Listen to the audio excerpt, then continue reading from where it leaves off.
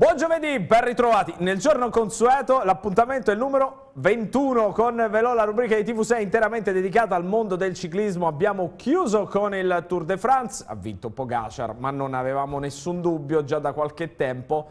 Eh, e siamo a poche ore dalla prova olimpica. Sta per iniziare Tokyo 2020 nel 2021, ma ovviamente c'è attesa per capire soprattutto la prova su strada dei ragazzi di Davide Cassani e non solo, perché poi ci sono le donne, c'è anche tutto il comparto pista da cui di solito eh, arrivano delle medaglie. Tra le altre cose il nostro Elia Viviani sarà portabandiera nella cerimonia inaugurale di Tokyo 2020. Ne parleremo questa sera ovviamente proiettandoci con i pronostici per quanto poi eh, siano eh, aleatori eh, sulla prova di Tokyo. Lo faremo con i nostri ospiti, metà in studio, metà collegati. Ovviamente, come di consueto, parto con l'ideatore della trasmissione, Luciano Robotini. Ciao Luciano, buon giovedì. Buonasera Jacopo e buonasera a tutti. Al tuo fianco, com'era il campione americano? Anno?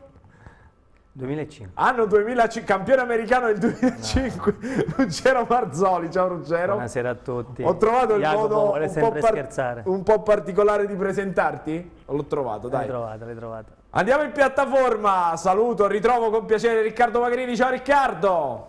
Buonasera a tutti, buonasera a tutti. Un buonasera moderno, a tutti. Un moderno Riccardo. Va bene come sì, stasera mi sono messo una, ho fatto un outfit come dicono ora, si usa dire. Ma non, non, moderno in quel senso, moderno sì, no, quanto... ma so, no, no, moderno, moderno, lascia stare Jacopo, lascia stare, sono moderno sono moderno anche nell'outfit, con, sì. la, così, con una maglietta così giovanile. Sì, sì, assolutamente, assolutamente. Al tuo fianco, sempre in maniera però eh, digitale, il, il, direttore di tutto BC Web, Piero Augusto Stagi. Buonasera direttore, ben ritrovato.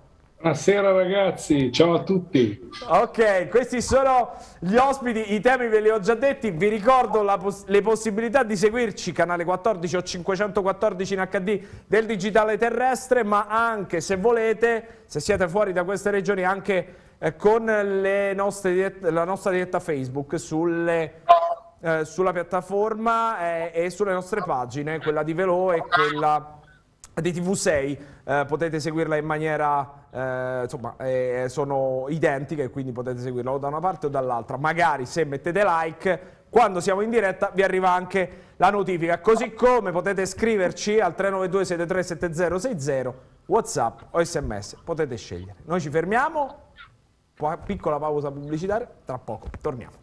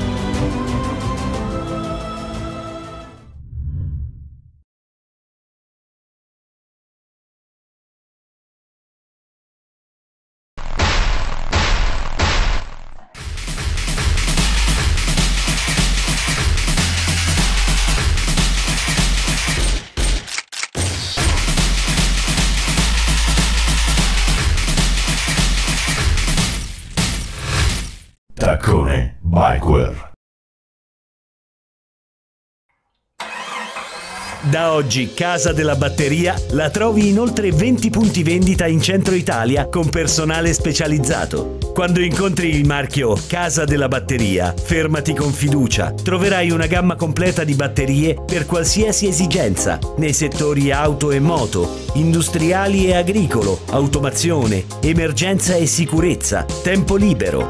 Visita il sito www.casadelabatteria.com. Scopri la filiale Casa della Batteria più vicina a te. Casa della Batteria. Gli specialisti per l'energia accumulata sono vicini a te.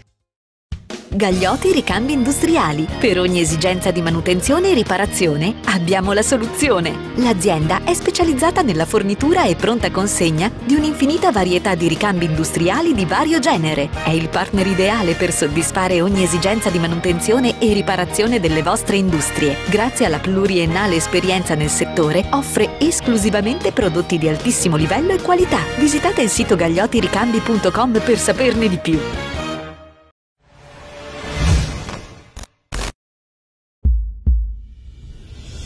Ecomob Expo Village 2021.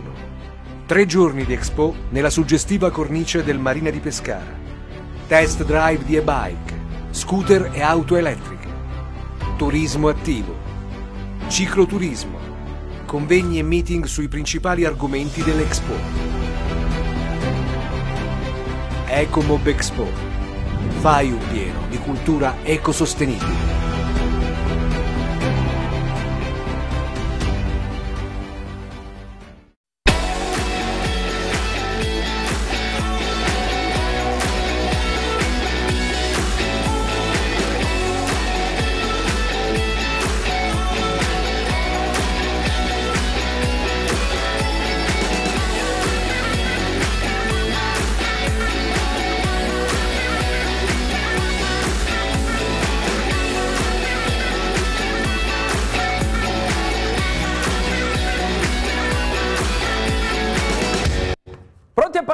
Questo ventunesimo appuntamento con la nostra trasmissione con Velo, la rubrica ITV6 dedicata al mondo delle due ruote. Da quattro giorni è terminato il Tour de France, bello intenso, eh, po' scontato probabilmente, cioè c'è stato un vero e proprio unico dominatore dal primo praticamente quasi fino all'ultimo All'ultimo giorno si tratta di Tadej Pogacar, secondo successo consecutivo alla Gran Boucle e per un ragazzo così giovane è tutt'altro che scontato. Ora, io, visto che Luciano l'altra volta, anche se non era ancora ufficiale il successo di Pogacar, a te, a Riccardo l'ho chiesto, faccio la domanda un po' cattivella anche al direttore Piero Augusto Staggi che è con noi questa sera per chiedergli se...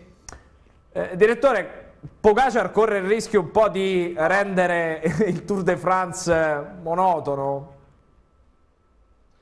Ma guarda, a me quando ci sono i grandi campioni piace, in qualsiasi sport.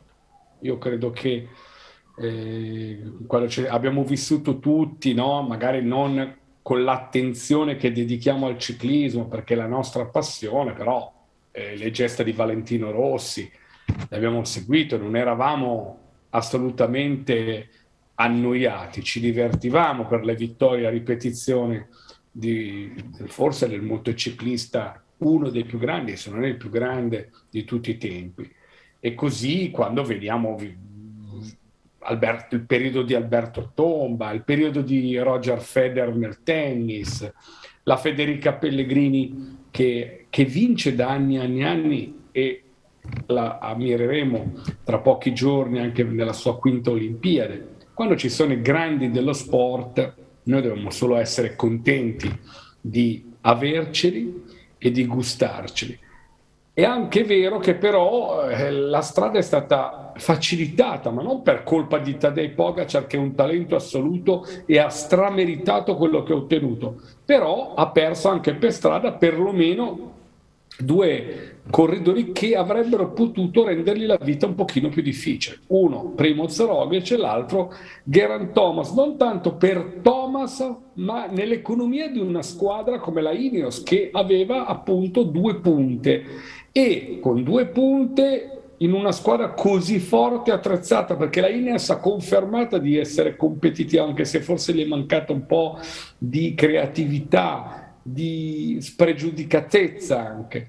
E, ehm, e, poi la mancanza di Roglic, è chiaro che eh, Taddeo ha avuto vita facile, non ha rubato nulla, ha meritato tutto, ci ha comunque deliziato. Io mi sono divertito, io considero questo Tour de France un buon e un bel Tour de France. Certo, le due settimane sono state di gran lunga più divertenti della terza e ultima settimana, un po' perché la terza settimana è sempre particolare perché le energie vengono meno e se non hai delle squadre attrezzate, delle squadre eh, con delle belle punte, in realtà, ribadisco, la Ineos ha fatto tutto, quasi tutto, perché secondo me a livello strategico qualcosa è mancato, però hanno dovuto fare probabilmente i conti con quello che avevano e quello che avevano era Carapaz, che non era gran cosa, ha ottenuto il massimo, un terzo posto.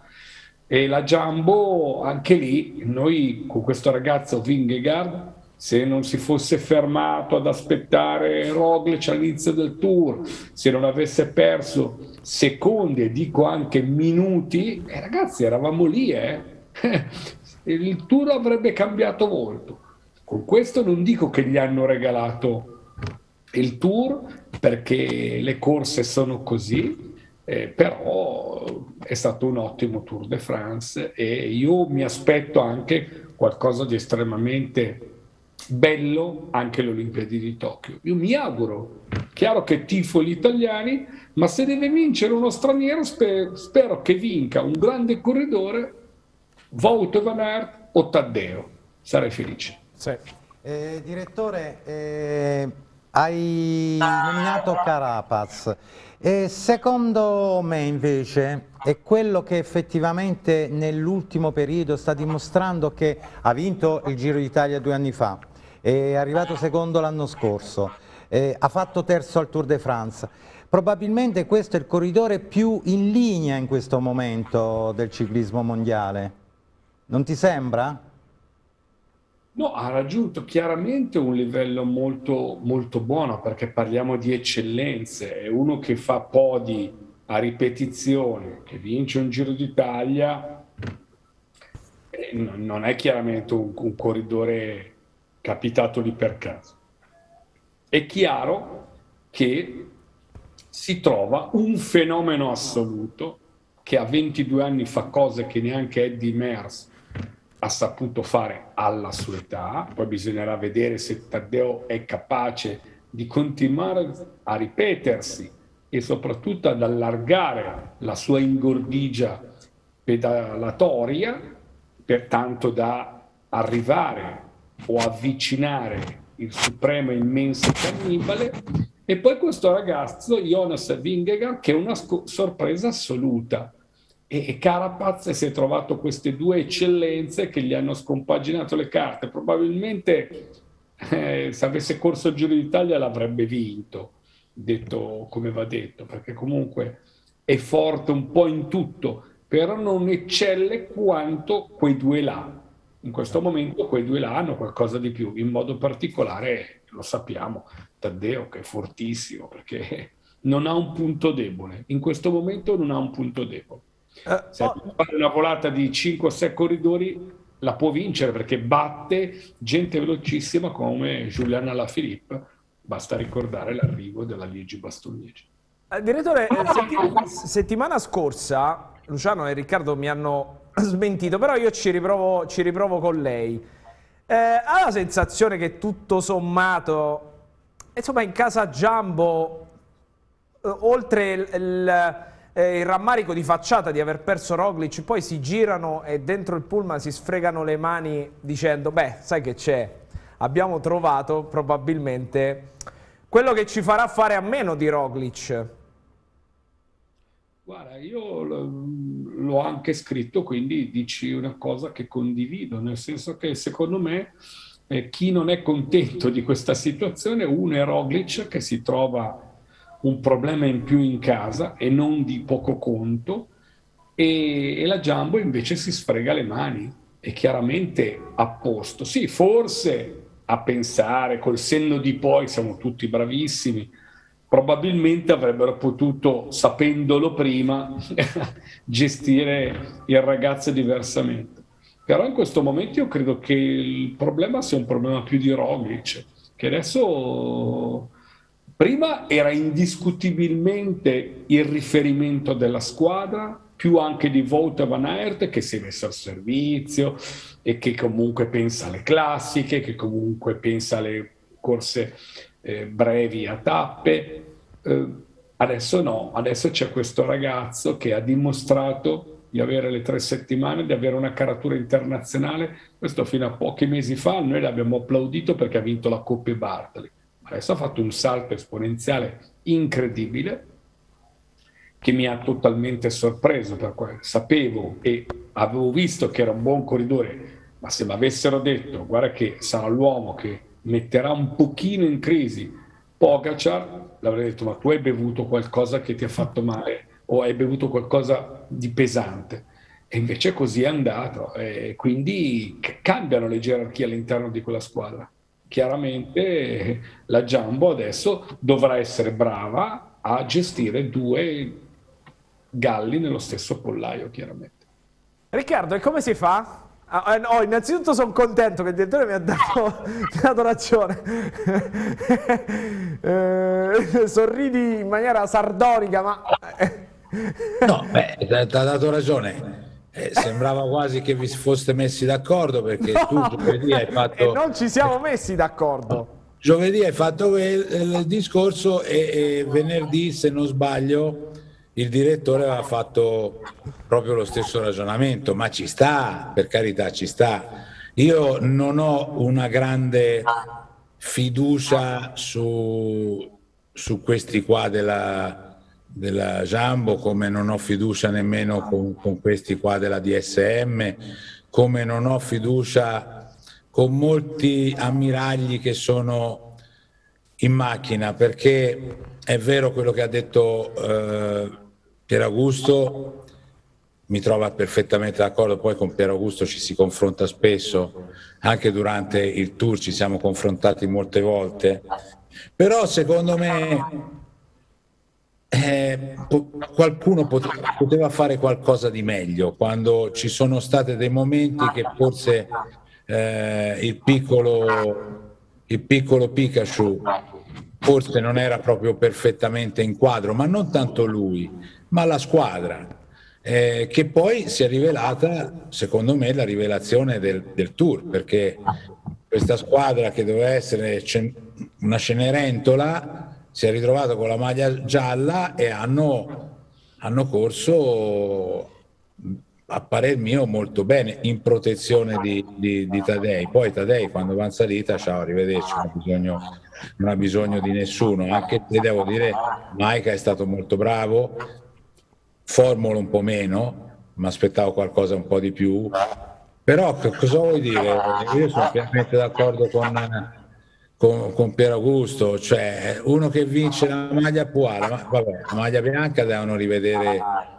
Sai che alla SNAI c'era una scommessa vincente il secondo dietro Pogacar. Cioè, cioè, il, pri- il, il, primo dei non maglia gialla. Sì, no, ma c'era veramente, eh, perché me l'ha detto un mio amico, mi ha detto cioè, vince, secondo te Vingegaard può arrivare secondo? Ho detto, boh, secondo me sì. Ah no, perché, perché c'è una giocata da fare vincente dietro Pogacar, o Pogacar, scusate, perché bisogna essere corretti. Quindi, niente, io, a me questo tour mi è piaciuto molto, eh, mi è piaciuto questo ragazzo che, che, è un fenomeno, non ha punti deboli, va forte a cronometro, va forte in volata, va forte in salita eh, che, che, cioè, io l'ho, l'ho, già detto, eh, voi lo, sen- lo, sapete perché mi seguite anche in trasmissione, io ho detto non voglio paragonarlo a Merckx perché Merckx lascia lo stato dov'è e poi non si possono fare paragoni, però può essere l'era di Pogacar come c'è stata l'era di Oppe Bartali, l'era di, di, di, eh, di Merckx, l'era di No. Ecco, secondo me questo incarna eh, questi personaggi qua in un ciclismo completamente diverso, un ciclismo diverso proprio anche nel modo di interpretarlo. I corridori sono andati fortissimo. E poi guarda qua che ma cioè, guarda Maurizio non me la levare questa foto. No non me la, rimettimi quella foto di Maurizio per favore perché è uno spettacolo.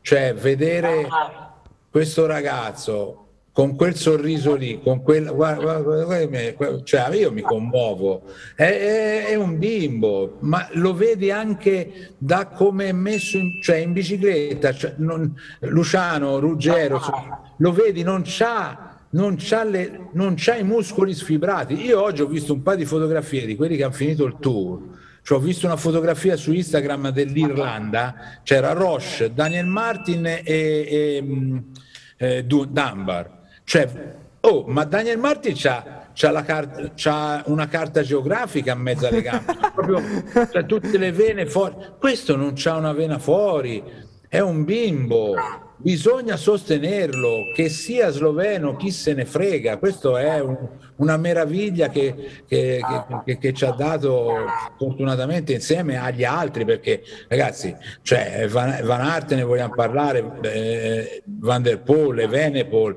eh, tutti questi fenomeni qui, cioè alla Filippo, io vedo un ciclismo, sarò romantico, sarò, boh, fatemi come vi pare, cioè io vedo un, un ciclismo bello. E questa immagine qui, quando Pogacar si, si congratula con gli avversari, c'è, perché mi avevi fatto anche questa domanda, se non sbaglio Jacopo, sì. che poteva essere odiato in gruppo, non può essere odiato questo ragazzo qua, perché No, no, eh, era una domanda che ti aveva fatto, non io, ma te l'aveva fatta ah, Luca ah, sì. Gregorio il giorno di Lussardiden, perché sì, effettivamente sì, ti ha chiesto, c'è la possibilità che, insomma, eh, questa voracità anche in alcune tappe, che con quel vantaggio avrebbe potuto lasciare, non fosse altro per un fatto di rapporti all'interno del gruppo, un ragazzo così, ecco, per l'appunto, eh, sempre attento al successo anche di tappa, poteva creare qualche turbativa. Guarda Jacopo, ti racconto... Però io sono d'accordo con la tua interpretazione. Ti racconto, vi racconto questo piccolo aneddoto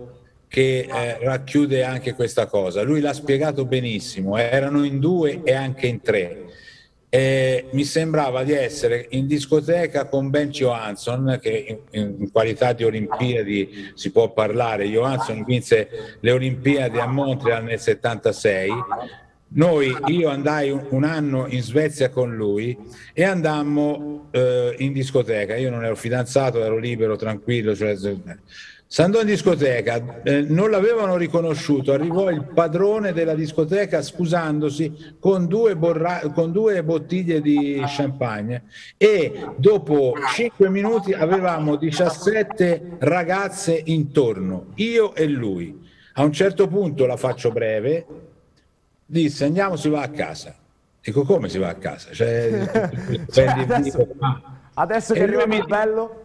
E lui mi disse se ne prendi e le porti due a casa, scontenti le altre. Quindi Pogascia non poteva far vincere uno e scontentare l'altro. Quindi ha vinto lui, fine delle trasmissioni. Io dal, dalla premessa dovevo rendermi conto da quando ha detto non ero fidanzato, io da lì dovevo rendermi conto dove si sarebbe andato a parare. Eh, oh, Luciano, vengo da te e poi vado da Ruggero perché ha nominato Riccardo e anche il direttore ha nominato probabilmente il protagonista degli ultimi due giorni assoluto, vittoria a cronometro, vittoria in volata, l'uomo che ad un certo punto ha dato la fiammata finale, ha entusiasmato il Tour de France, il mio Wout van Aert che sembrava un'anima perduta ad un certo punto della stagione, invece, invece... Invece ti piacerebbe che vincesse anche le Olimpiadi, eh? Ma sarà io, io eh, no, ah, guarda, non è per riconoscenza nei confronti del fatto che abbia appoggiato la mia tesi, però il direttore prima ha fatto due nomi. Se non vince l'Italia ha detto i miei due preferiti, Pogacar e Wout van Aert. Quindi Però è chiaro comunque, che il tipo chiaramente- di partenza no, è chiam- per gli italiani. Chiaramente quando si vedono vittorie come appunto l'ha fatto il tuo corridore Van Aert, mio corridore sembra mio. bisogna eh, cacciarci il cappello perché effettivamente vedi di vittorie di qualità.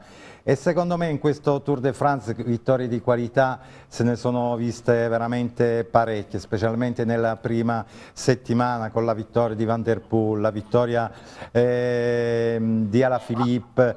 Eh, C'è stata veramente una prima settimana entusiasmante e probabilmente eh, già nella prima settimana eh, Pogacar eh, ha voluto dare un grande segnale, vincendo quella tappa che, che in pratica ha anche, ehm, ha anche, eh, dato il senso al suo tour, ha preso la, eh, ha preso la maglia gialla e non ha avuto assolutamente grosse difficoltà a, a portare a termine vincitore questa edizione del Tour de France.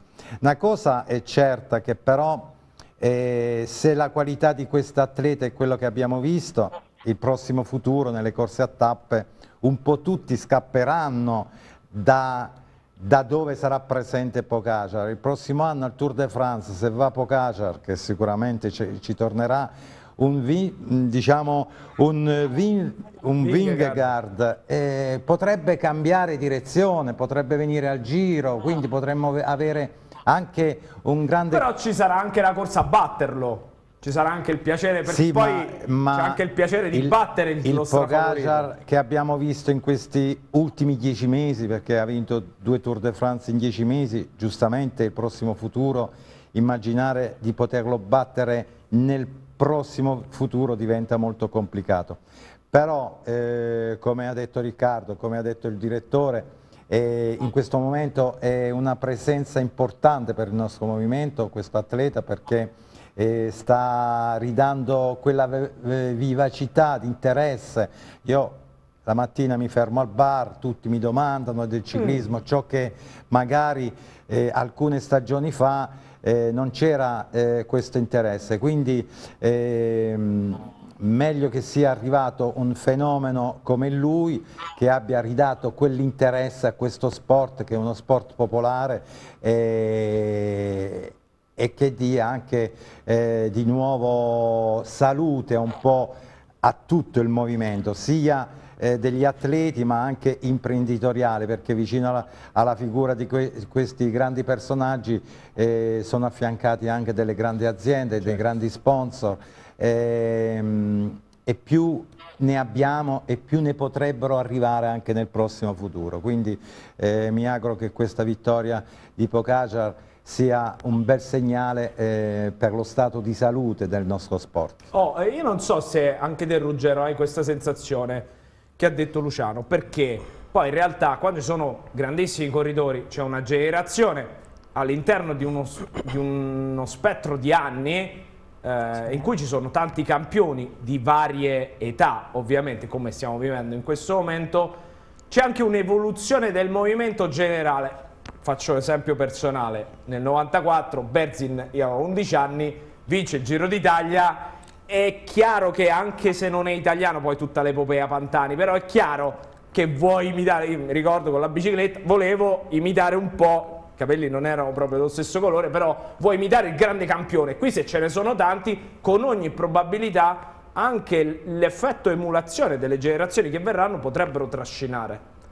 Ma sicuramente, come anche accennato il direttore Pieragusto, cioè il grande campione porta avanti tutto il movimento, cioè, ricordiamo Tomba, ricordiamo Tyson, Luna Rossa, si fermava il mondo, eh, Pantani ancora tuttora regge il record del Giro e del Tour, quindi fa sicuramente bene al movimento. Anche in un'intervista di Saronni, suo team manager, eh, dice eh, questo ragazzo è fortissimo, ok, però lo dobbiamo preservare eh, come atleta perché fa bene a tutto il movimento. Eh, Oh, per- vi do una notizia, poi alla fine ad imitare Berzin non ce l'ho fatta, ma questo penso che l'avevate, che l'avevate intuito. Ruggero, ti sei divertito a questo Tour de France? Ti è piaciuto? Perché tra un po' passiamo Ma anche alle tantissimo. prospettive in ottica Olimpiade. Ma tantissimo, c'era tanta qualità, tanto tanto tanto. E I primi dieci giorni sono stati anche tra l'altro disegnati molto bene, a differenza di, degli, anni, degli, anni, passati dove magari vedevamo un tour eh, da subito ingessato, invece qui abbiamo visto le prime tappe come, come se fossero ogni giorno una gara di un giorno. Quindi dalla Bretagne si è partiti subito con Alaphilippe, grande aspettativa per un francese in maglia ridata e tutta la nazione che lo guardava e lo spingeva con gli occhi e non ha sbagliato, ha vinto.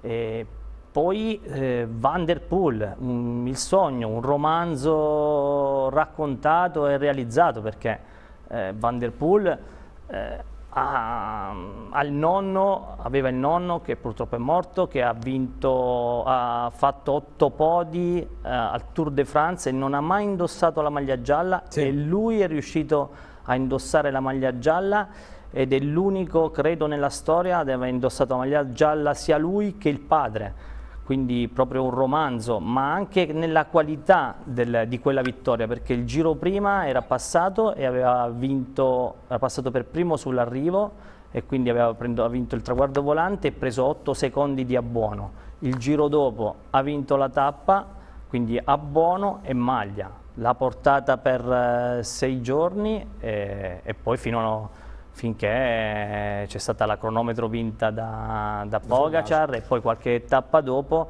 nel tappone la, ha preso definitivamente la, la, maglia gialla e portata credo 14 giorni sulle spalle. E sulle belle quattro vittorie di Cavendish, un Ma... ritorno di questo, gran, di questo, grande campione che ha suscitato veramente eh, grande simpatia verso un grande campione del ciclismo. Assolutamente sì, un ragazzo di 36 anni in una squadra eh, che l'ha rinvigorito, l'ha ringiovanito, che è la De Koning, che anche io sentendo le, interviste di Cattaneo comunque è una squadra eh, dove, dove, chi ci sta sta molto bene. È un ragazzo che io ho visto passare professionista nel 2006-2007, feci un secondo, un terzo dietro di lui a una, una tappa del Bessège, è un ragazzo che ha vinto quest'anno con quest'anno 34 tappe al sì. Tour de France, quindi eguagliando Eddie Merckx, anche se come dice Riccardo non, non, non ricacciamo i vecchi nomi. Che, che ah, eh, ecco, mentre, mentre, parli c'è il tuo sosia. Conquistando per la seconda volta la maglia verde. E l'avevi detto! Io avevo, detto io, avevo, io, avevo io, sostengo di averlo detto, tu no, invece no, hai vero, detto, hai fatto mille nomi. L'avevi nominato. Oh, perché ho detto c'è De Mar, Caleb Evans, Sagan, però occhio che torna Cavendish.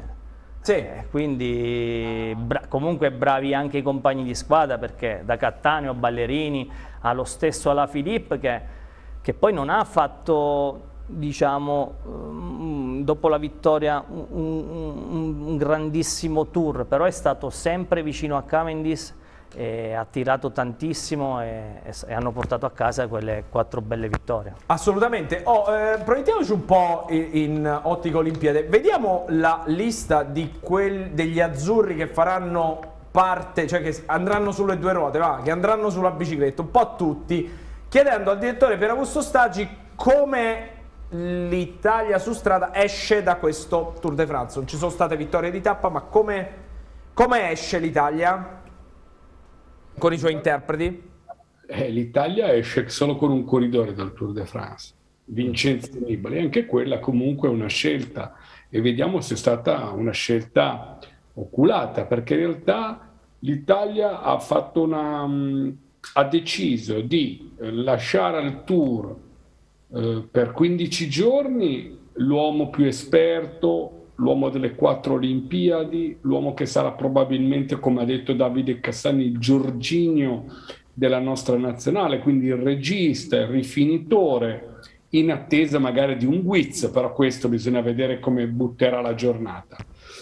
E, ehm, invece gli altri quattro si sono tutti preparati in altura, non hanno quasi corso, hanno fatto poi il Giro di Sardegna, una rifinitura, una cosa che va assolutamente in controtendenza con corridori tipo Tadej Pogacar, Wout Van Aert, tanto per citarne due, che invece hanno corso tutto il tour, hanno fatto la loro passerella ai Campi Elisi e al lunedì mattina hanno preso eh, di buon'ora il loro volo per raggiungere Tokyo. Quindi è proprio una filosofia totalmente diversa.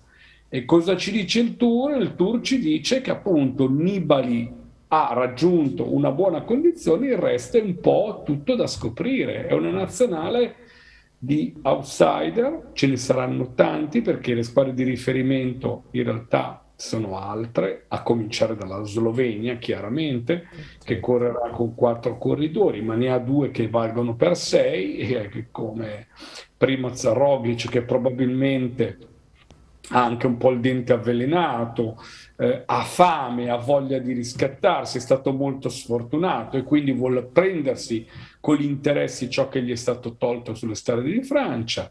Taddeo invece lui è bello sereno, col suo faccino, come giustamente Riccardo dice, da bimbo, come io e lui lo chiamiamo da sempre, eh, bimbo perché quello è eh, talentuoso che non è mai sazio e poi bisogna vedere la nazionale belga che è estremamente competitiva e vari ed eventuali come i colombiani piuttosto che qualche francese, gli olandesi perché un Bauch molle eh, comunque ci può finire dentro anche se non lo vedo chiaramente eh, vincitore, poi sarò smentito. Vediamo che io ribadisco, se deve vincere la medaglia d'oro a me piace vedere i grandi spiriti, con tutto il rispetto per Mollema e tutta una serie di declinazioni andando in giù.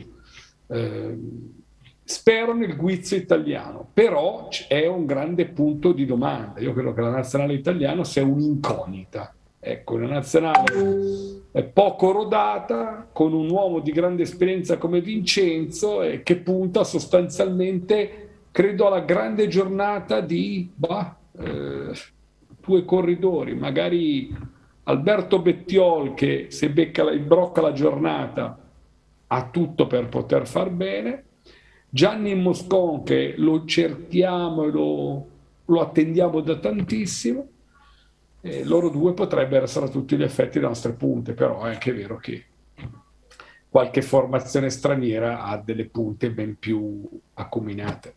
Oh, Riccardo, ti faccio eh, tra poco vengo da te perché, Luciano, tu prima di andare in onda mi hai spiegato come vedi la fine del tour di fatto accoppiata quasi naturalmente all'inizio dell'Olimpiade, perché poi in realtà la prova su strada di Tokyo 2020 è quasi una naturale prosecuzione, sono mi pare 8 giorni, cioè insomma sono pochi giorni sì. eh, di, di distanza. aiutami pure, ehm, facevamo un ragionamento prima sia con Ruggero che con Jacopo. Eh, normalmente la storia di questo sport, noi che abbiamo avuto anche la fortuna di poterlo fare, questa attività sportiva, ci ha sempre detto che naturalmente dopo un, la fine di una grande corsa a tappe, tu vedi l'anno scorso, finiva il tour, andavamo a, a a San, eh, San, Sebastian. San Sebastian, andavi a vedere l'ordine d'arrivo, chi vedevi? Tutti quelli che erano reduci eh, dal tour, i primi dieci...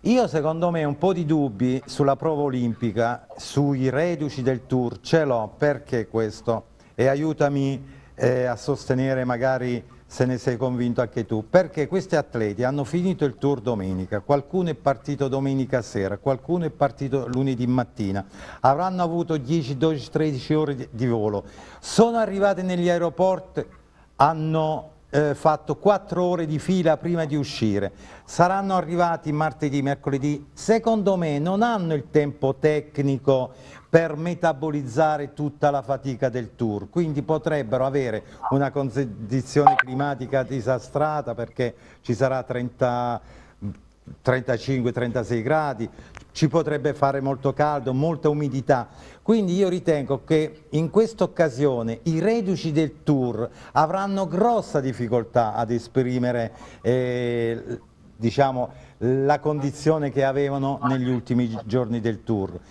perché effettivamente per tenere la, la condizione del tour tu normalmente l'atleta tornava a casa e cercava anche di fare una vita da tour, cioè si svegliano la mattina alle 10, ti vai a fare quelle 3, 4, 5 ore di allenamento tranquillo, hai la, la possibilità di recuperare le grosse fatiche del tour e quindi poi al, alla fine della settimana riesci ad essere veramente il brillante. Ma in questo caso, con tutte tra viaggi, spostamenti, fusi orari, caldo, umidità, io ho dei grossi dubbi sulla resa dei reduci del Tour alla prova olimpica. Tu co cosa ne pensi Riccardo? No, l'ho detto anch'io in trasmissione, sono d'accordo con te proprio su, questa, su questo aspetto. Loro, hai detto bene, non è tanto il viaggio, il viaggio in aereo, perché il viaggio in aereo dormono ormai gli aerei, quelli che, che, che hanno fatto i viaggi, non è che vanno in economy, ormai vanno tutti in business cioè, o, o in first class, quindi non hanno problemi sul viaggio. Il problema ce l'hanno nell'attesa all'aeroporto, nei bagagli che arrivano, eh, nel, nei quattro ore, perché io eh, ho contatti con eh, i nostri inviati, perché abbiamo una, una delegazione di Eurosport Italia al, a, alle Olimpiadi e mi dicono che è un casino, cioè proprio totale, c'è un sacco di controlli, un sacco di cose che, che effettivamente ai corridori non, non, fanno bene. È giusto tutto quello che hai detto, però ti faccio un'altra esempio, stasera ce l'ho con, le, con i racconti.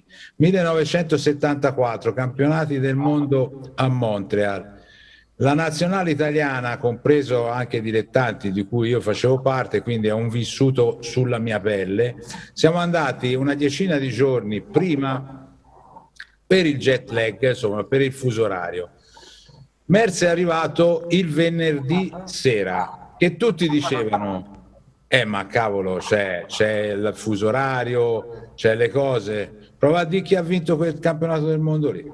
Lo ha vinto Eddie Merckx e eh. quell'edizione eh, di quel campionato del mondo lo organizzò un eh, imprenditore abruzzese. Abruzzese, bravo. Eh, lo so. Corneli, Corneli che era Pizza, Cornelis Pizza. Eh, che era, io, sono, eh, io, sono, stato a mangiare nelle sue pizzerie, aveva sì, sì. praticamente una quarantina di, eh, di Volkswagen, cioè di maggiolini rosa che andava in giro per la città, allora faceva, faceva la pizza e la portava, pensate, nel 1974, senti se era avanti questo, questo signore. Anche, anche Greg al mondiale in Giappone fece la stessa cosa, arrivò il giorno prima. Però tu prima, proprio io dietro, dietro, le, quinte, io dietro le quinte, quando Luciano fece, mi fece questo discorso, io gli dissi, sì Luciano hai ragione, però eh, quello che ti dà una corsa a tappe, e a me è successo il Giro d'Italia 2004, finisce il Giro d'Italia e poi vado a fare eh, Lancaster, vado a fare Philadelphia, 260 km. Quel Giro d'Italia finì 23 in classifica generale feci sesto, settimo, i tapponi e, e andai fortissimo al, al, al Philadelphia, tant'è che vincemmo il campionato nazionale americano con Fred Rodriguez. Stessa cosa mi capitò eh, dopo il Giro del Lombardia 2005, credo, no 2006 che ero in Lampre. Faccio decimo il Giro di Lombardia, quindi comunque andavo forte, vado alla Japan Cup, quindi parto subito il giorno dopo il Giro di Lombardia, Japan Cup il giorno dopo ancora, secondo al fotofinish con Riccardo Riccò. Il problema, quindi, quindi, se quello che voglio dire è Pogacar, Van Aert, tutti quelli che sono usciti bene al Tour andranno sicuramente forte alle, alle Olimpiadi, tra l'altro quasi 5.000 metri di slivello, tre salite importanti. Tu mi hai detto, adesso ti faccio vedere il percorso, prima mi hai detto dove si scioglie la gamba. Il problema dove, può, dove può, essere il problema? Sicuramente nei primi chilometri, perché... Eh, in partenza è normale. Perché i primi 40 km sono di pianura, poi c'è una salita, una salita credo al 6%, 15 km, quindi da, se loro riescono a rimanere con il gruppo principale in cima a quella salita poi si sbloccheranno sicuramente e la, la, la, gara prenderà la strada che, che deve prendere. E, è chiaro che un'Olimpiadi che partiranno 5 corridori per squadra eh, magari è una, una, corsa tipica, è una corsa particolare, però poi ci saranno anche determinate alleanze, eh, ci saranno squadre che comunque, come la Slovenia, partiranno con due punte, ci saranno, ci saranno delle dinamiche che speriamo, come dice anche il direttore Pierluigi Stagi, di vedere eh, all'arrivo eh, come protagonista, come vincitore, comunque un nome, un nome importante. Oh, poi vi chiedo il favorito, però intanto devo andare in pubblicità, ci fermiamo, torniamo tra poco. 25 anni di attività agonistica, 30 anni di attività commerciale per continuare a darvi Rabottini Cicli Sport, bici da corsa, mountain bike, gravel e tutta la linea e-bike. Rivenditori ufficiali Scott, Bergamont e BH. Abbigliamento tecnico, scarpe, occhiali, ciclocomputer, cardiofrequenzimetri delle migliori marche e assistenza meccanica qualificata. Se vivi di passione, se pedalare è ciò che ami, allora ti aspettiamo a Marina di Città Sant'Angelo, Viale Matrino 31. Resta aggiornato su tutte le novità e seguici sui nostri canali social Facebook e Instagram.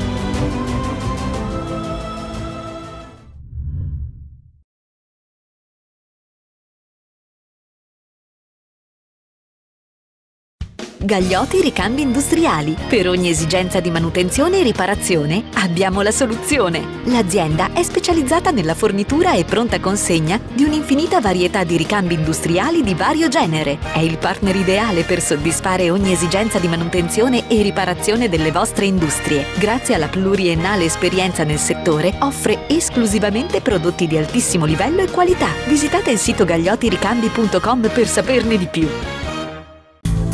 Clindex è una realtà italiana che progetta e realizza attrezzature professionali per levigare e lucidare pavimenti. La bontà dei suoi prodotti l'ha resa famosa in tutto il mondo. Le levigatrici Clindex sono adatte a levigare marmo, granito, gress, parquet e qualsiasi superficie grazie agli speciali utensili anch'essi realizzati da Clindex il Super Concrete, ovvero un sistema di lucidatura a specchio del cemento che ha creato una nuova concezione di pavimento industriale.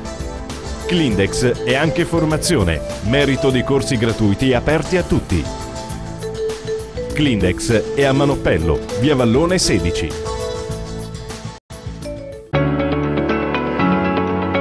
Sapete cosa caratterizza la CAMS Stampi?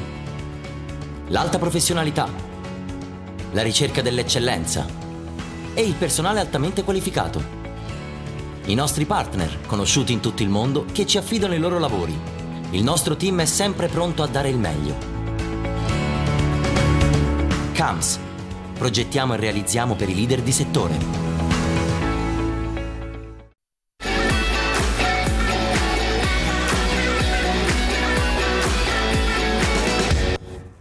Seconda parte di Velo Olimpiadi, in proiezione Olimpiadi. Innanzitutto andiamo a vedere quello che sarà il programma, gli impegni eh, su strada de degli uomini, delle donne, anche su pista, eccolo qua, Insomma, eh, Riccardo, peraltro si tratta di fare una bella alzataccia dalle 4 alle 11.15. No, io Eh? pensavo di fare l'happy hour.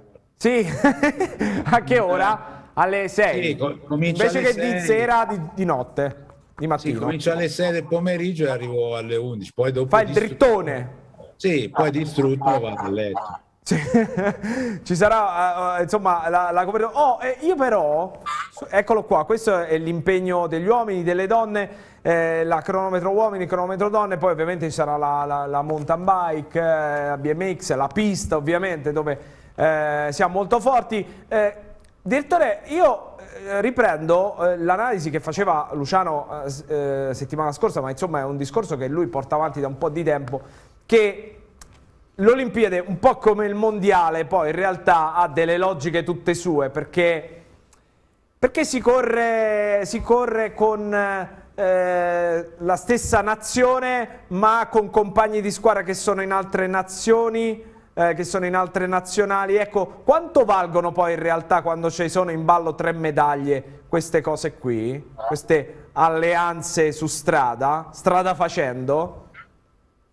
Ma intanto corri con pochi compagni di squadra, quindi è chiaro che ci sono nazioni che, come dicevo prima, l'Italia corre con 5 corridori, la Slovenia corre con 4 perché comunque viene- erano state fatte le, le graduatorie, eh, è stato congelate prima del, prima del Covid sostanzialmente, a fine 2019 e quindi già quello influisce, più senza le radioline, in più come dici tu e, e Luciano, con delle logiche che quelle vengono comunque portate anche in campo mondiale quando ci sono le sfide iridate, eh, qua con un peso maggiore perché i, i tre posti contano, perché le tre medaglie olimpiche hanno un peso specifico. Se nella gara che vale il titolo mondiale vale sostanzialmente il primo posto e noi che siamo arrivati secondi con Matteo Trentini eravamo disperati anche forse perché ci avevamo fatto un po' tutti, io per primo, la bocca non buona, ma buonissima. Anche perché ci ha battuto Pedersen, insomma, niente di trascendentale. Anche per- ah, ma anche perché seguendo la narrazione io seguo Riccardo e Luca eh, da- sempre e, e mi avevano preso per mano ed eravamo lì ed eravamo lì in sella alla bicicletta di Matteo Trentini noi eravamo convinti nel momento in cui eh, Matthew Van Der Poel si è spento e lì eh, chi è che non ha pensato ce l'abbiamo fatta? E purtroppo non ce l'abbiamo fatta.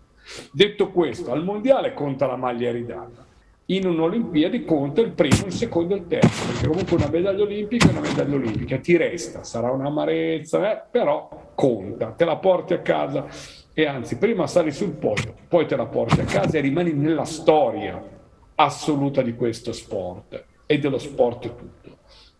Detto questo, come di- dite voi, ancora di più, strada facendo, subentrano poi le alleanze. Però quella è strada facendo, bisogna vedere che piega prende la corsa e soprattutto chi si sente di cominciare a parlare. Perché poi lì, in modo particolare, più che le ammiraglie che non hanno le radioline, sono i corridori che devono essere svegli.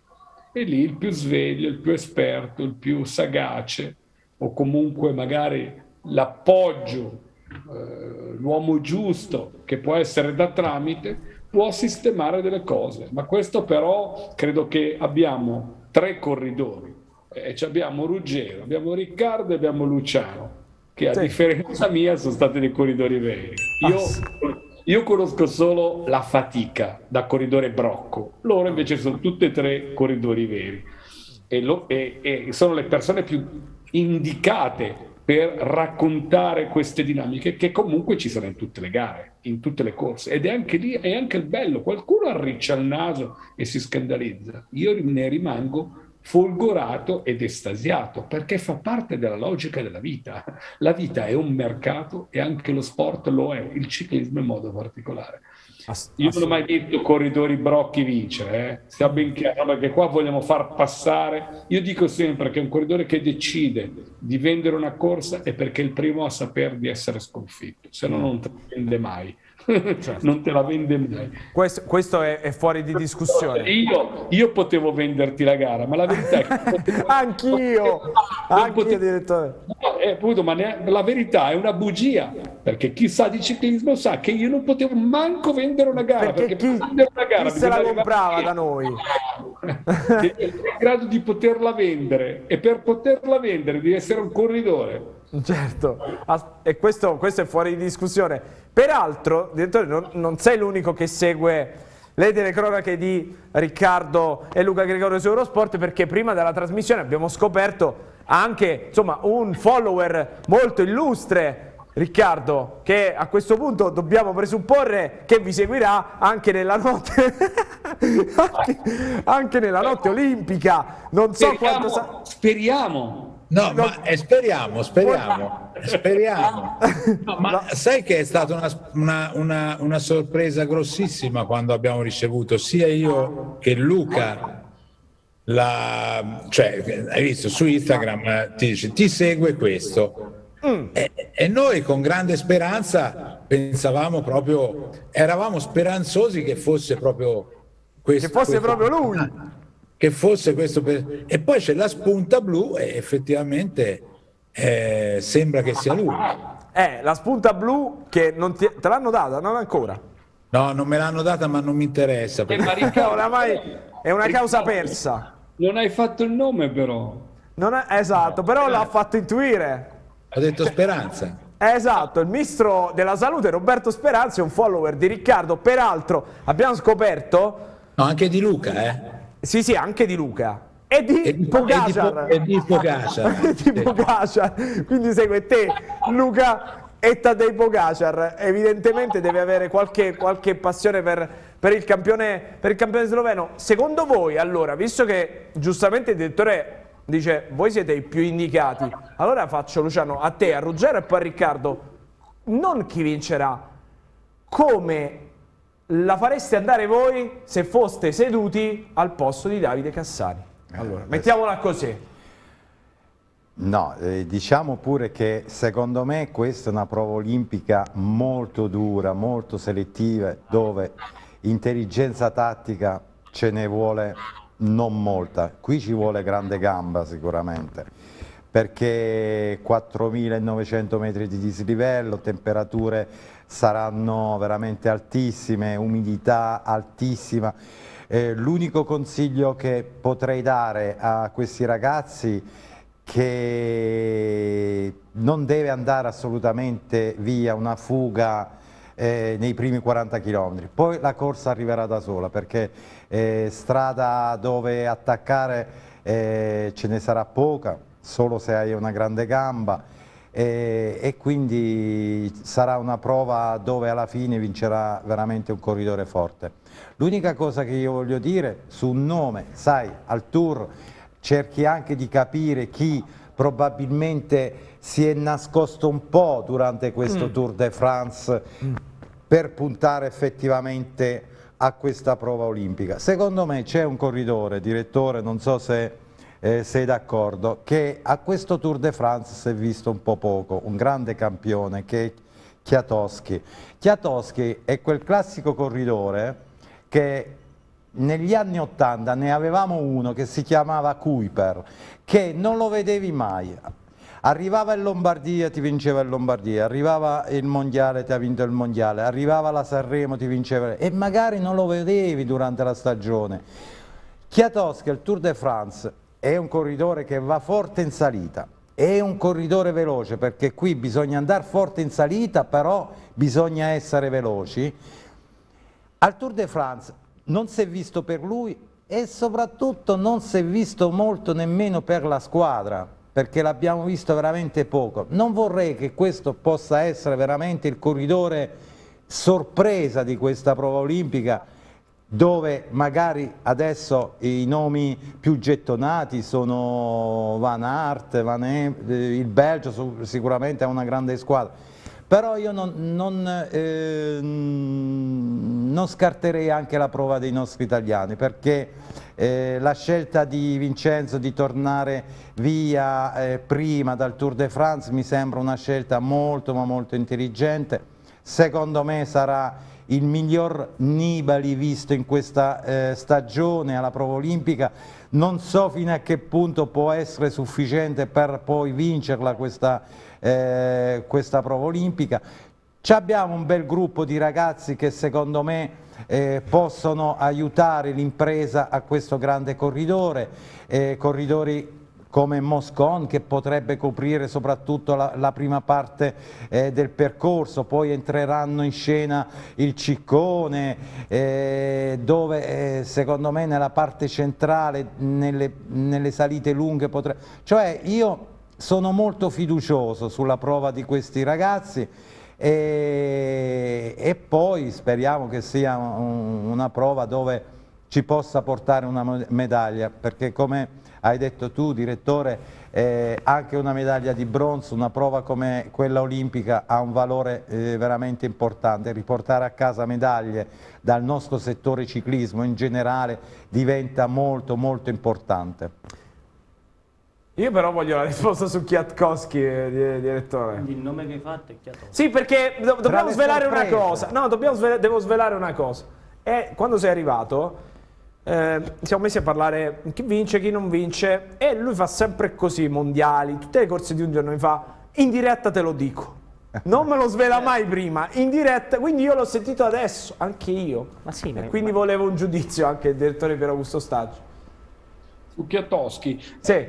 un, devo solo dire, contraddico leggermente eh, Luciano solo sul fatto che, eh, e chiamo in causa che non abbia lavorato per la squadra. E l'ultima settimana lui Chiatoschi eh. è stato fondamentale per la Ineos, si è visto come e sta bene. Quindi concordo su quello che dice Luciano, non concordo solo sul fatto che si è visto poco. No, lui è venuto fuori nell'ultima settimana con una gran gamba, una grande condizione, una grande intelligenza.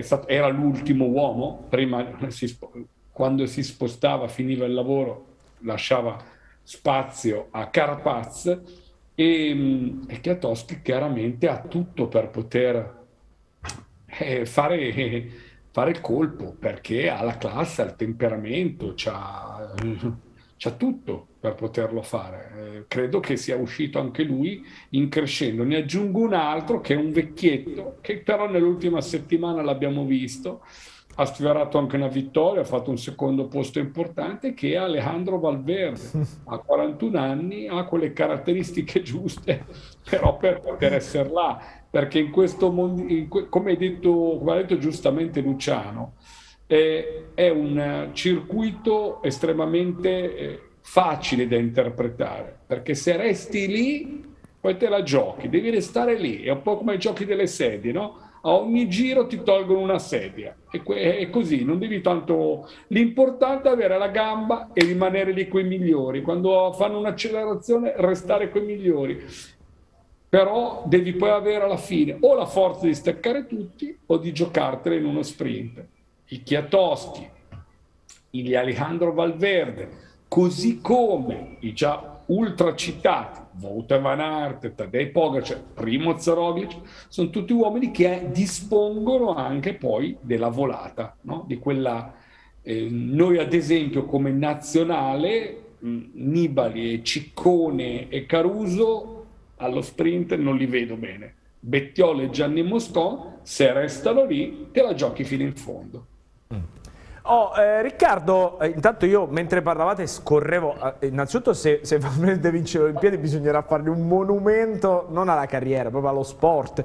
Eh, controllavo sulla lista... Perché è l'unico che ha fatto 5 Olimpiadi, eh? Sì, ma eh, cioè, sarebbe veramente un'impresa incredibile. Guardavo quelli che partono da soli e, e, danno sempre un fascino particolare, quelli che partono solo loro per la propria nazionale. Ehm, Riccardo, e invece secondo te, allora chiedo a te come, non, te, la, te la giro la domanda, dai, te la cambio.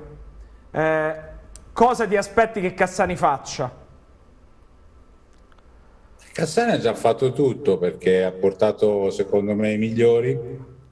Come la interpreta, dai? Eh, l'unica cosa che secondo me eh, cioè, il, percor- il, percorso così è, ehm, è, un percorso duro, ci vogliono uomini di, di fondo. L'unico, l'unico sbaglio che ha fatto Cassani, secondo me, è quello di portare Ganna a fare la cronometro. Te dici che è una bestemmia, sì, è una bestemmia perché non è una bestemmia per me, perché Ganna su quel percorso lì non lo so quanto possa fare. Era meglio se Ganna faceva, si concentrava sul quartetto, che magari vinciamo la, la medaglia d'oro, anche con il record del mondo.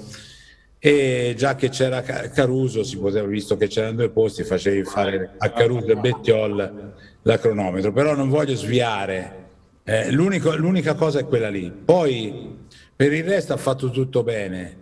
Eh, per vincere le Olimpiadi ci vuole, come ha detto giustamente eh, Luciano, insomma, io stasera vado, vado, quasi sempre a favore di lui, ma di solito, di solito non sono d'accordo. Però, però No, è così, no, perché cioè, anche in squadra non eravamo mai d'accordo, su lui diceva una cosa e io ne dicevo un'altra, però al di là di questo io credo che ci vogliano le gambe soprattutto, ma ci vuole anche del coraggio, perché eh, bisogna anche interpretare questa prova e ci sarà ah, poi tutto l'aspetto, il caldo, l'umidità, sarà una gara durissima e quindi per questo motivo io credo che noi sarà difficile poterla, poterla portare a casa, anche se confido molto nei corridori che ha detto anche Pier Augusto. Moscon e,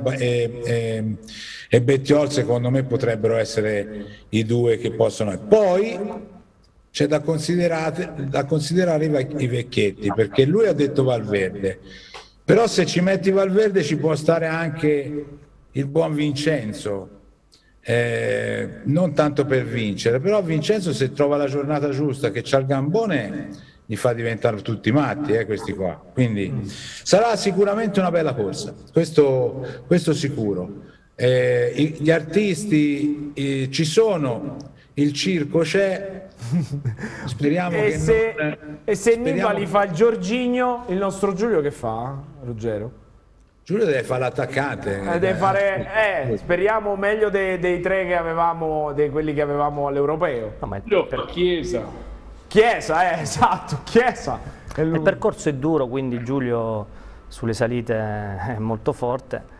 Eh, chissà, potrebbe, potrebbe anche rimanere lì davanti coi primi, poi come abbiamo detto non è veloce quindi però, sì, però l'arrivo non è pian, impianeggiante, capito? Cioè c'è anche questo. Mm, sì. Questo è un, un, un, un cioè campion, campionato del mondo, è un percorso che veramente vuol vedere l'uomo in faccia, non è un percorso così e quindi, quindi sarà bello.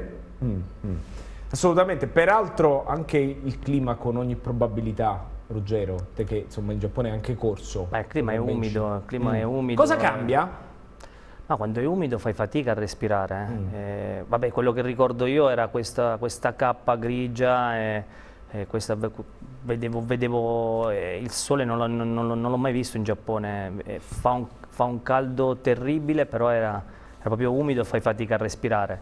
Eh, per, ti ripeto, eh, poi quando, quando il motore si scalda, quando quando va, quando va al suo livello e ai suoi giri, eh, a quel punto lì esce il corridore, esce il corridore di fondo eh, e quindi sicuramente i campioni vengono fuori, il percorso è duro, 5.000 metri, eh, il problema è tenere la gara perché pochi corridori per squadra, eh, quindi possono, non è sicuramente come il mondiale, non è sicuramente come una gara, una tappa di un grande giro, dove c'è una squadra che, che, gestisce e che tiene.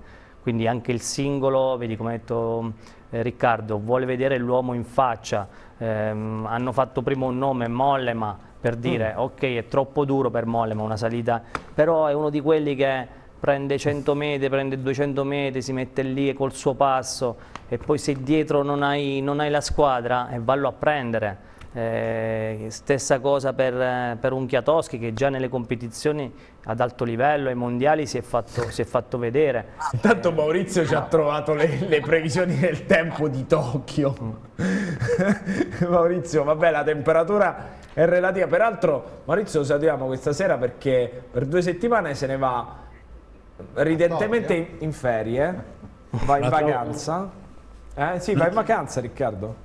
Se ne va. No, Eh, noi siamo così, noi qui siamo magnanimi, cioè le- mh, diamo insomma vacanze, vacanze a Iosa, quindi questa sera diamo in bocca al lupo perché affianca Karim Finotti che è alla prima, alla prima di Velò e quindi Ma insomma... va a vedere le Olimpiadi, Maurizio, ecco perché. Mauri- ah, Maurizio va a vedere le Le Olimpiadi a vedere, capito? Ah, ok, si fa, si ok, fa quindi- 12 ore di volo, Ah, ok, ok. Eh, in prima per, per classe, questo con il letto. No, tac. a letto, va bene, va bene. Oh, Luciano, per chiudere, insomma, che, che, che Olimpiadi ti aspetti? Ce la facciamo a riportarmi una medaglia?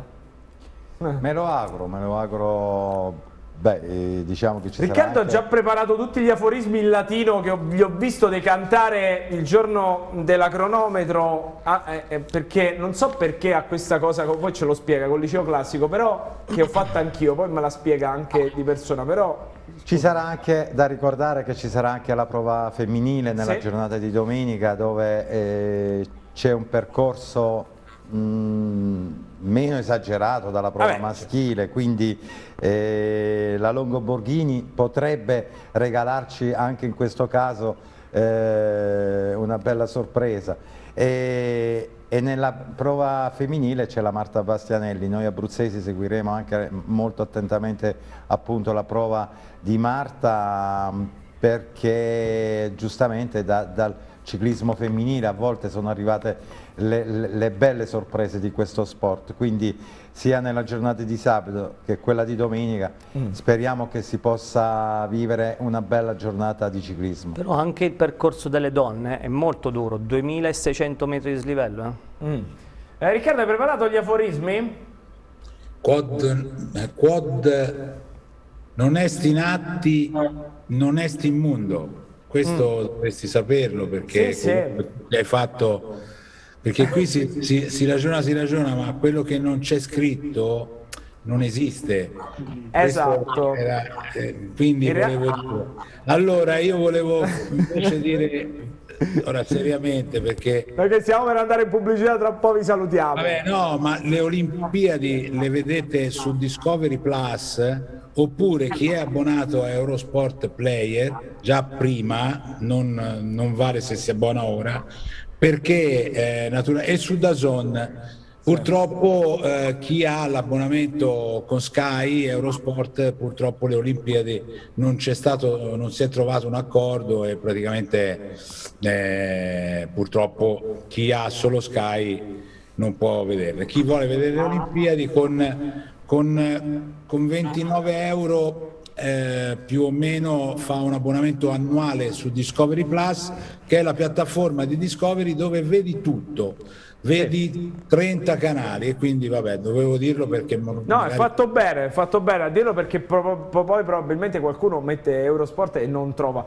Eh, per- peraltro anche qui, latino per latino e vi hanno anche corretto, hanno- vi hanno anche corretto e plus. Poi in, No, però in no, no, maniera... è cioè sì, poi No, c'è è stato preso ovviamente nella, No, no, nel- nella pronuncia anglosassone plus. No, no, no, no, è, è una questione siccome commerciale, quindi Ok. eh, non c'entra il, il discorso latino o aforismi eh, di altre lingue. Lì è un, io se voglio chiamare eh, tutto bici wab, lo posso anche chiamare tutto bici wab, anche se poi dopo si scrive web. Però è una questione eh, di decisioni del, del direttore, per esempio. Direttore, non, non so se ho detto bene o se ho detto male, però ti vedo un po' perplesso. Cioè, quando gli hai storpiato il nome del sito si è un po' adombrato, giustamente direi. Un pochino. Eh, direi. No, tutto, tutto bici web. Riccardo può dire quello che vuole. No, Come però non lì. può fare così, direttore. Me- cioè, de- de- deve anche un po' contrastarlo, altrimenti lui poi diventa totalmente parole di tutto, anche, a- a- anche de- de- de- insomma, de- degli aforismi latini. Che io lo seguivo e vedevo questa cosa, questa critica contro chi ha fatto il liceo classico e gli stavo quasi per scrivere. Ho detto, ma cos'hai contro chi ha fatto il liceo classico? Assolutamente. Va bene. Via. Io vi ringrazio, vi auguro una buona Olimpiade. Direttore, grazie per essere stato con noi, buona Olimpiade e grazie Riccardo, visto che farai il drittone, beato te. Spero di farcela. Spero di farcela. Curati un po', curati. Vabbè. Eh, stasera sto sudando come te, Luciano. Guarda. Eh, però grazie, di- grazie di, di liberarci così perché comunque il programma va, continuerà ad andare avanti, credo. Eh certo, eh certo, indovina grazie a chi? Eh, grazie a me. Vi ho fatto allungare fino a un quarto alle Sei, 11. sei intervenuto niente meno che a distanza anche nella, nella durata di questo programma. Grazie direttore, grazie Riccardo per essere stati con noi, buona Olimpiade, ovviamente speriamo che Grazie tutti. ci regalino una soddisfazione. D'oro sarebbe meglio, d'argento e di bronzo ci potremmo accontentare, però insomma non sarebbe la stessa cosa. Ruggero, grazie anche a te. Grazie a voi. Eh, tra poco parleremo della corsa del dottor Carlo, andremo a Cepagatti, però prima ci vediamo la bici in 200 secondi, la rubrica del nostro Moreno di Labbio, che ci parla delle derapate, cosa che, vero, io e te, insomma, tutti i giorni, vero? Come no? Grazie Ruggero, ci vediamo presto, buona Olimpiade anche a te. Grazie, grazie a voi. La bici in 200 secondi, Moreno di Labbio, poi pubblicità e poi l'ultima parte di Velò.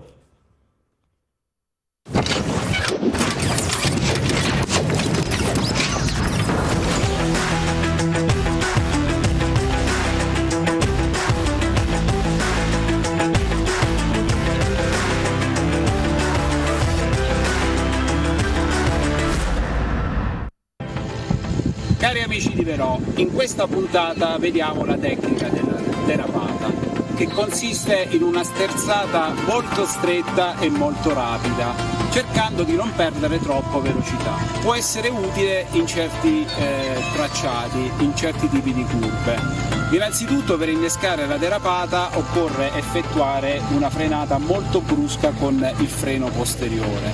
Quindi in prossimità dell'ingresso della curva si blocca con il freno posteriore. Ma prima ancora bisogna alleggerire molto la ruota posteriore, caricando molto sull'avantreno. In questo modo riusciamo a favorire lo scivolamento della ruota posteriore che andrà a compiere un vero e proprio cerchio in questo modo. Se io devo girare attorno a quest'albero, da qui, ma inizio la frenata qua, arriverò a questo punto e non ho più velocità e quindi non è servita ad aumentare, è servita a rallentare. Se invece affianco l'ostacolo da girare e qui chiudo e faccio derapare, mi ritroverò con la bici in direzione dell'uscita. Ciò che aiuta molto è la testa, lo sguardo. Se io guardo a terra, a terra vado. Se io guardo verso l'uscita, quindi approccio l'ingresso della curva, sto qui, inizio, quando sono all'ingresso della curva blocco e questo comincia a girare e lo sguardo è rivolto verso l'uscita, tenendo il peso sulle spalle, quindi schiaccio sul manubrio, mi posso aiutare tenendo la gamba che punta verso il centro della curva, come se fosse un compasso, ok? Come se volessi puntare al centro della curva e faccio girare il capo posteriore. In questo modo riesco a favorire l'intraversamento. C'è da dire che la derapata è un esercizio che si può fare solo quando il fondo è sabbioso e va assolutamente evitato quando il fondo è erboso in montagna, altrimenti andremo a rovinare la superficie del terreno. Dobbiamo esercitarci molto su questo tipo di esercizio prima di avere completamente il controllo. Per questo il consiglio è di partire su una superficie eh, piatta prima che provare sui gel. È importante avere dei margini di sicurezza. Un trucco che favorisce l'inserimento in curva è tenere il piede interno puntato verso il centro della curva. In questo modo, anche se si perde eh, per un eccessivo scivolamento il controllo della bici, siamo in grado di non cadere, di tenerci in appoggio con la gamba interna alla curva. Subito dopo la derapata si lascia il freno e si dà una decisa azione di rilancio per riprendere la velocità persa in curva. In questo modo riusciamo a girare in quei tornanti stretti dove spesso è impossibile eh, girare senza questa tecnica.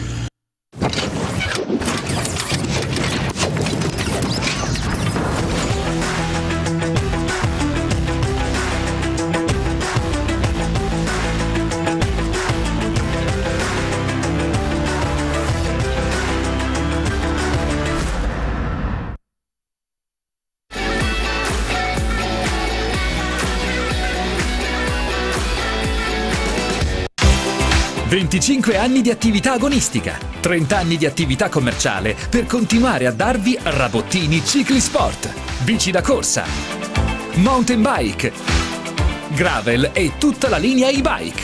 Rivenditore ufficiale Scott, Bergamont e BH. Abbigliamento tecnico, scarpe, occhiali, ciclocomputer, cardiofrequenzimetri delle migliori marche e assistenza meccanica qualificata. Se vivi di passione, se pedalare è ciò che ami, allora ti aspettiamo a Marina di Città Sant'Angelo, Viale Matrino 31. Resta aggiornato su tutte le novità e seguici sui nostri canali social Facebook e Instagram.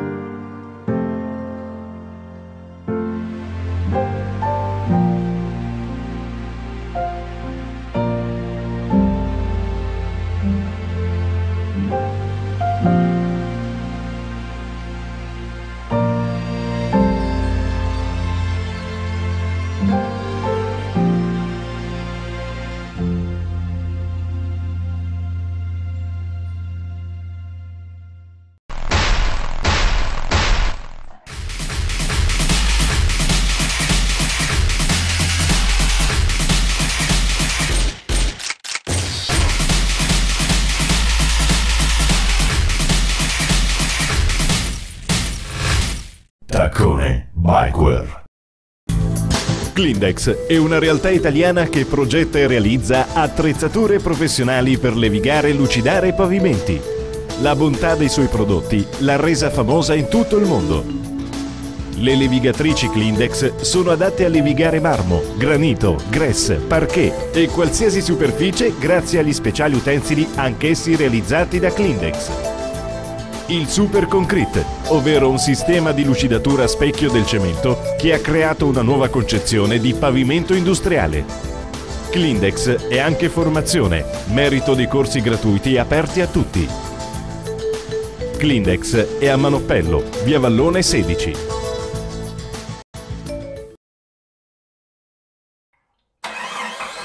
Da oggi Casa della Batteria la trovi in oltre 20 punti vendita in centro Italia con personale specializzato. Quando incontri il marchio Casa della Batteria, fermati con fiducia. Troverai una gamma completa di batterie per qualsiasi esigenza nei settori auto e moto, industriali e agricolo, automazione, emergenza e sicurezza, tempo libero.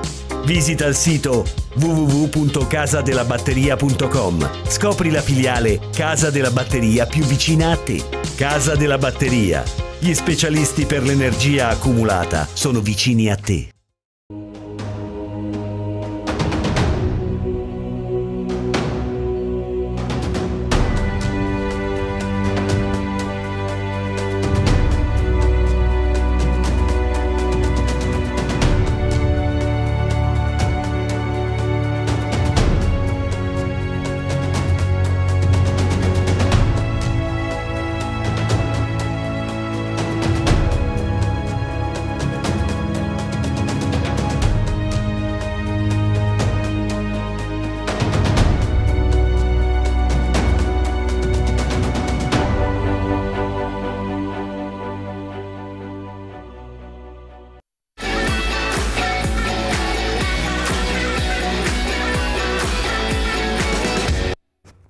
Ultima parte di Velo per questa sera, diamo la buona serata, ben ritrovato stavolta in presenza Fabio Cascini, ciao Fabio. Buonasera a tutti. Allora, eh, innanzitutto prima di entrare in onda, poi hai seguito il dibattito sulle Olimpiadi, non so che cosa ne pensi, che cosa secondo te potrebbe dire o fare l'Italia anche per te, insomma siamo una mina vagante in questa in Speriamo che fanno come i calciatori. Eh, sai che è venuto in mente anche a me. A sorpresa, se dobbiamo vedere i pronostici, Pogacar dovrebbe stravincere, però mm. i pronostici sono fatti per essere smentiti. Esatto. Assolutamente sì.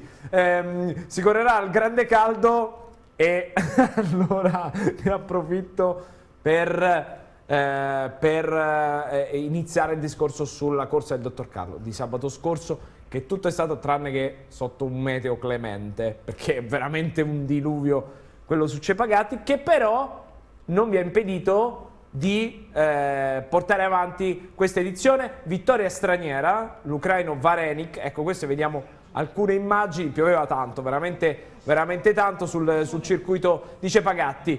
Eh, prima di entrare nel merito della corsa, innanzitutto volevo chiederti, al di là, eh, cioè quanto è stato insomma, complicato anche la realizzazione di, di, una corsa con un tempo davvero, davvero incredibile. Eh?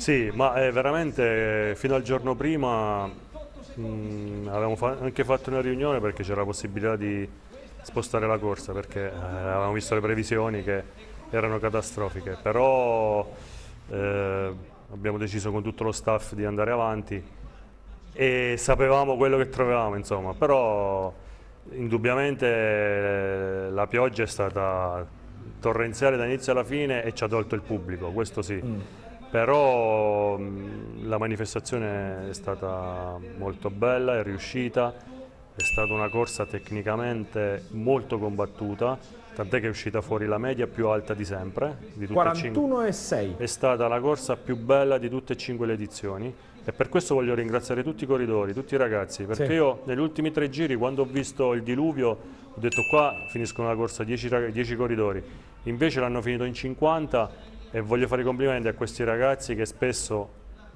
diciamo, eh, critichiamo, invece hanno dimostrato impegno e veramente serietà. Mm. Per quanto riguarda la manifestazione noi siamo comunque contenti dello staff perché quello che dovevamo fare l'abbiamo fatto. Abbiamo ricordato Carlo mh, mm, alla solita maniera con, uh, con una bella manifestazione al cimitero, anche se pure là pioveva e diluviava e mm, con una corsa spettacolare, una bellissima premiazione un pubblico che alla fine comunque è stato discreto anche nel sì. finale e poi un pubblico numerosissimo su Facebook perché quest'anno per la prima volta abbiamo fatto la diretta Facebook sì. Io non pensavo di avere tutti questi sono, contatti. Insomma, eh, sono prese queste immagini sì. proprio dalla vostra diretta Facebook. E veramente abbiamo avuto una marea di contatti che non mi aspettavo mm. sono contento soprattutto per gli sponsor che ci danno sempre una mano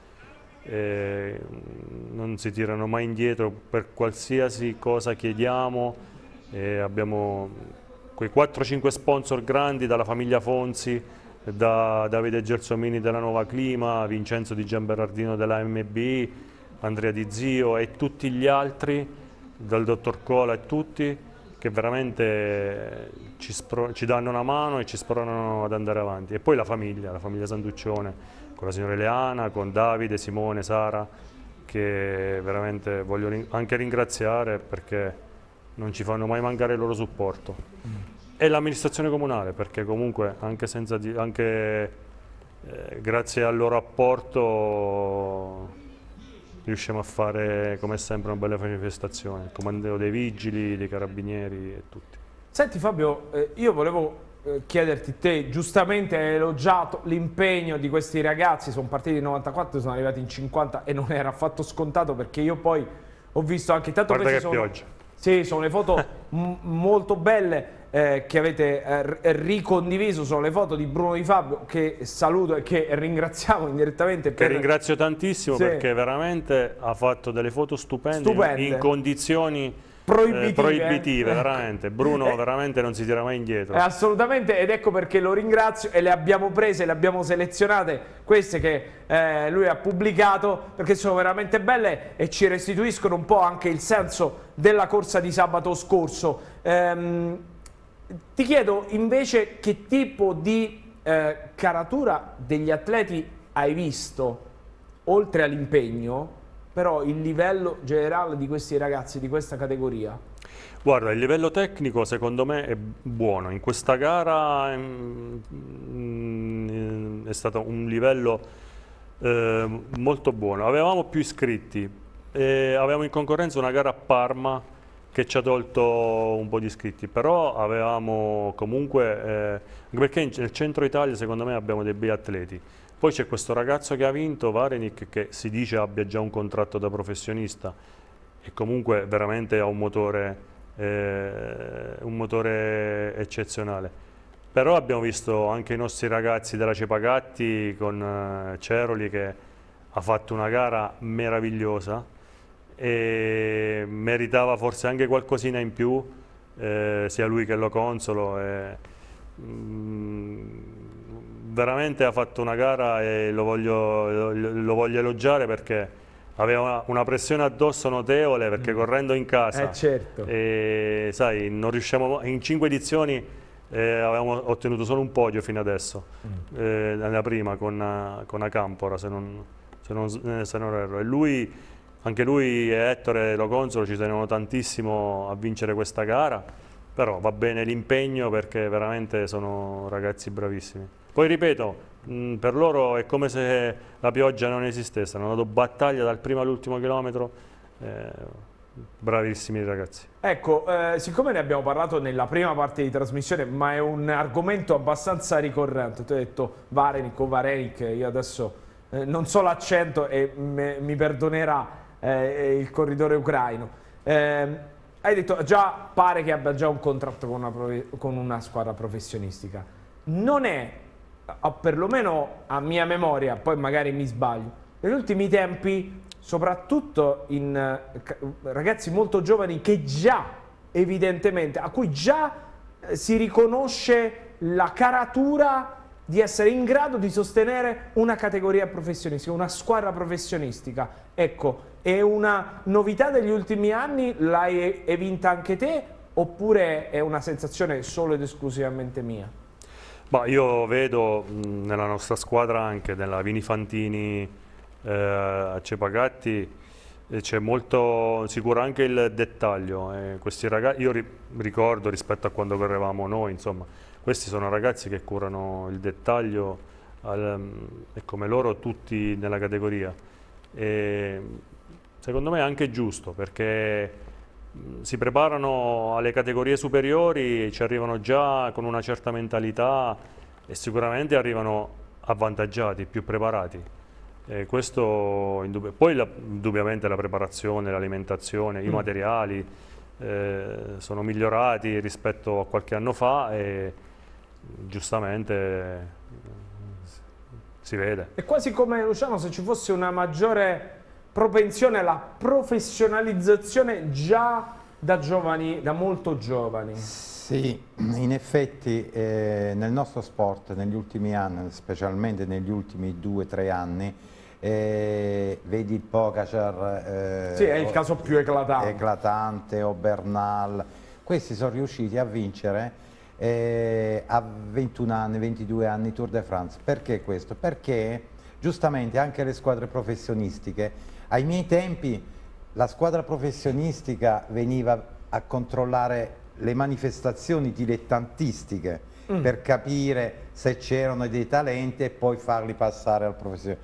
Adesso le squadre hanno anticipato i tempi, vanno nelle, nelle gare dei juniores a capire se effettivamente il talento c'è, perché poi in questa categoria riesci anche a vederlo meglio il talento, la differenza tecnica di spessore tra un corridore e un altro. Poi vedi il talento, lo fai crescere e lo fai subito passare e magari in quel momento se veramente ha talento riesce anche nel mondo professionista a esprimersi eh, molto meglio. Invece ai nostri tempi eravamo dilettanti, fino a 21, 22, 23 anni, la, avevi la possibilità di passare, passavi, però c'era un percorso nettamente diverso. Ecco perché questo ragazzo che vince a Cepagatti magari già c'è il contratto eh, per il passaggio al professionista e magari questo non farà nemmeno il dilettantismo, eh, quindi farà subito il salto di categoria. Comunque questa la categoria junior, vi faccio i complimenti per l'ottima riuscita delle manifestazioni, ma ne ero certo perché voi siete un gruppo di ragazzi giovani che avete eh, un po' tutti anche l'esperienza eh, d'aver corso in bicicletta, un po' tutti. E, e soprattutto vi faccio i complimenti perché mh, mm, ne ero anche certo a livello organizzativo siete stati perfetti.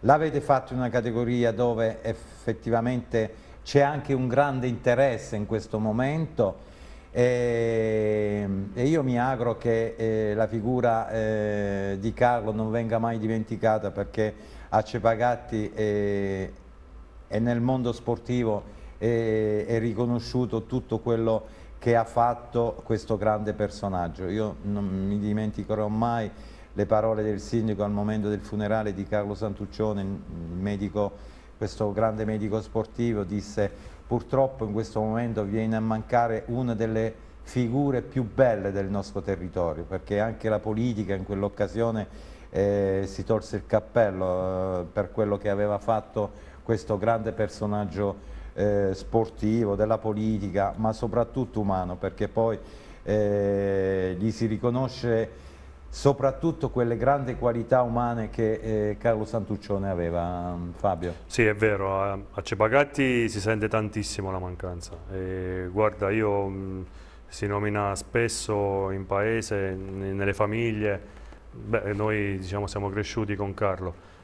Secondo, manca, manca, a tutti, è una figura che a Cepagatti difficilmente verrà dimenticata. Mm. Noi ogni anno, anche il prossimo anno, eh, siamo pronti, tutto lo staff che voglio ringraziare perché siamo un gruppo fantastico, siamo 20-25 persone ma un gruppo bellissimo. E sabato mattina alle 7 già eravamo tutti operativi per non dire il giorno prima sì, sì. nessuno si è tirato indietro sotto la pioggia abbiamo montato abbiamo dato a montare il palco le transenne eh, abbiamo fatto una mega cena dopo la manifestazione per eh, eh, tutti perché si sentono di dare qualcosina a questa manifestazione che poi, ricorda il dottore, perché poi, tutti poi, ci sentiamo un po' eh, in come dire sì, eh, eh in, in, diciamo eh, in debito in debito quindi... col, col, dottore. Esatto poi, poi, voi Fabio avete anche accepagati il DNA del ciclismo sì questo è vero. Nelle, nelle famiglie si parla di ciclismo in ogni famiglia probabilmente c'è chi pratica oggi il ciclismo chi l'ha praticato nel passato. Cioè avete una grande storia avete avuto una grande società ciclistica Sì, che sì, nel sì. passato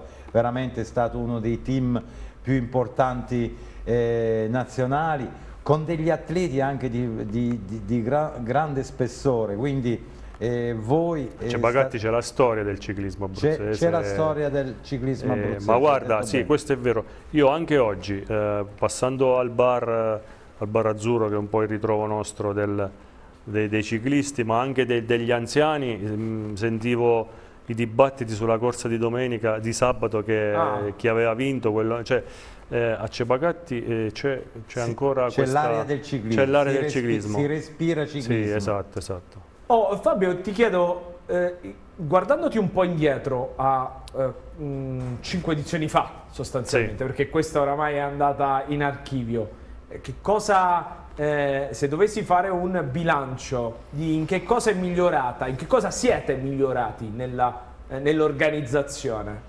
Perché Ma, poi, eh, insomma, cinque edizioni non sono tantissime, ma non sono neanche così poche. No, no, oramai siamo, siamo super collaudati, un gruppo... gli errori si fanno sempre, perché anche quest'anno poi a mente fredda quando si, si ragiona, si, si ripercorre la giornata, gli errori ci stanno, e- però noi facciamo sempre del nostro meglio, per esempio quest'anno ho visto che mh, dobbiamo migliorare la pagina Facebook, eh, la diretta Facebook, con la diretta Facebook si può fare tanto, agli sponsor è piaciuto tantissimo. E abbiamo avuto una marea di, visuali- di- di- di visualizzazioni, di contatti quando abbiamo fatto quella- quei dieci minuti al cimitero. Mm. E questo fa capire che cosa è questa manifestazione a Cepagatti. E noi contiamo ogni anno di migliorarci, e- ma soprattutto di confermarci, perché, mm, perché l'obiettivo è sempre quello. Poi abbiamo questo sogno nel cassetto di fare un campionato italiano juniores che prima o poi lo faremo. E- però ripeto, cioè, l'obiettivo per l'anno prossimo è confermarsi, perché comunque organizzare non è facile, è difficile. Io non finirò mai di ringraziare i collaboratori e, e- e da Pasquale Parmeggiani a Fabrizio Orlando e tutti i ragazzi del gruppo e, e gli sponsor. Da noi succede una cosa che non succede da nessuna parte. Ogni anno mi arriva una telefonata di qualcuno, qualche sponsor che è rimasto fuori, mi dice ma a me perché non mai Contattato. contattato. Cioè, poi succede sempre tutti gli E anni. anche questo, È incredibile. E anche questo sarà oggetto di discussione. Spero per solo una cosa, 2022. che eh, questo è un appello che voglio fare alla federazione, di aiutarci a migliorare nelle- nelle, mm, nella burocrazia, perché il problema principale, eh, noi non non ci stuferemo mai di, di- di- di organizzare, però io capisco chi, si- chi veramente si stufa dopo un po', perché la cioè noi ogni anno l'autorizzazione della prefettura arriva a mezzogiorno del giorno prima, Mm. cioè uno non può stare sulle spine. Eh sì, perché sei sempre Io un appello che faccio, non so, alla federazione, a qualcuno che... Cioè, dobbiamo avere dei canali dove non si possono perdere giornate dietro a queste cose. Certo. Io questo è quello... A noi il problema più grande è quello, guarda, tra sponsor e, il resto non ci fa paura niente. Ci faremo promotori da questa sede anche e soprattutto di questo. Eh, ordine d'arrivo, come detto, ha vinto Maxim Varenico, Varenic della CPS Professional Team, secondo Umberto Ceroli della Vini Fantini Sport Tour Free Bike, terzo Riccardo Palumbo, quarto Lorenzo Di Camillo, quinto Ettore Loconsolo, sesto Michele De Palma, settimo eh, Diego Bracalente, ottavo Antonio Dapice, nono Marco Caferri, decimo Marco Fermanelli. Vediamo, visto che siamo in chiusura, mancano 20 secondi, vediamo gli appuntamenti di questo fine settimana. C'è la Gran Sasso Marathon MTB che è stata eh, rinviata di domenica allora sabato 24 luglio trofeo città di Bellante Memorial Mattia Lo Schiavo categoria juniores sempre sabato per il cicloturismo a Fossa Cesia gara amatoriale aspettando Art Bike Run sotto la luna piena. Questi sono gli appuntamenti del fine settimana. Grazie a Fabio Cascini, grazie Fabio per essere stato con Grazie noi. a voi dell'invito. Assolutamente doveroso. Grazie Luciano, ci vediamo giovedì prossimo. Buonasera a tutti e buone Olimpiadi a tutti. Assolutamente, buona Olimpiade a voi. Grazie a Karim Finotti in regia con l'ausilio di Maurizio da qui che ritroveremo tra tre settimane. Gli facciamo un augurio di buone vacanze, grazie a voi che ci avete seguito, noi invece ci vediamo prima. Giovedì prossimo, sempre alle 21 su TV6, canale 14 del Digitale Terrestre. Buone Olimpiade!